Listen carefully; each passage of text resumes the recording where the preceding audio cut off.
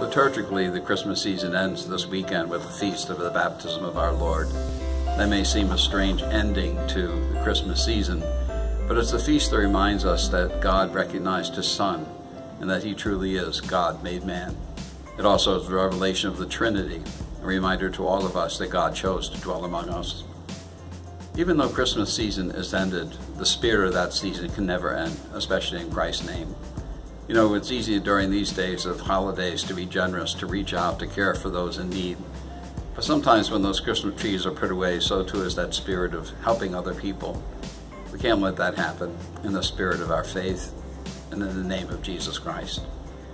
The season of Christmas continues on, and we need to continue to watch out for those who are in need, for those who are hungry and poor, homeless and cold. There are too many in this world that are forgotten once those Christmas carols are stopped being sung.